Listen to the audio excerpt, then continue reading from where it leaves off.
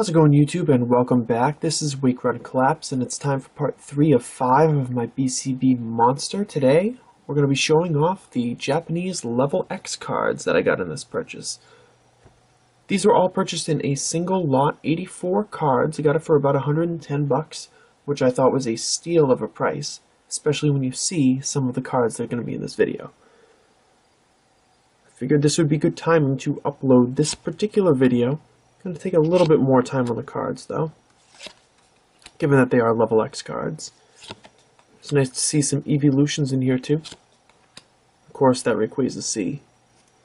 Uh, these cards are, for the most part, going to be included in the level X sale video that you see tomorrow. So please don't ask about uh, the cards availability, because they will, again, for the most part, be available tomorrow. I might check my promos to make sure that I can't replace any conditions, but something I always do. It was really nice to see certain cards in this lot because I don't see them all the time when you buy level X, you know, big packs like that. You really don't see that Rayquaza. You don't see Leafeon level X. You certainly don't see two of them in any good condition, and um, one of the really nice parts about buying from Noodles is that sometimes you get, you know, surprises on this level. They have great cards available. There's another Darkrai level X. Starting to run a little thin on Darkrai, so. See some Lucario. There's definitely some more surprises, and I'll mention as we get there.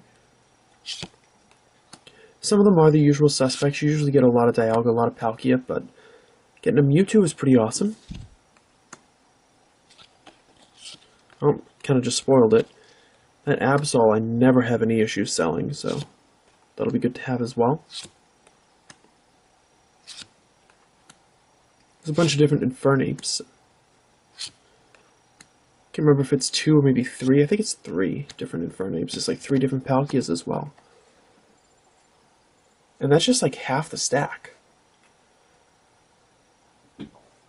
Get into the rest of it now, and there are some more great cards to be seen here. That Azelf, always really like that one. Of course, followed by Mesprit and Uxie.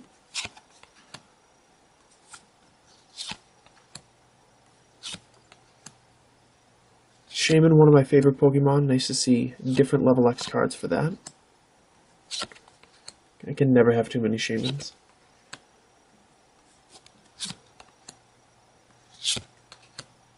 Uh, Gardevoir making a few appearances in this lot as well. Well, not as well as this Floatzel. It's, I think, the only one in the lot. Floatzel's such a strange choice for a level X card, but... Oh, there's that Alakazam. Really nice to see that guy again. And Salamence, which is sure to sell high because I think it's in pretty good condition. In fact, I think most of these are in, like, excellent or better condition.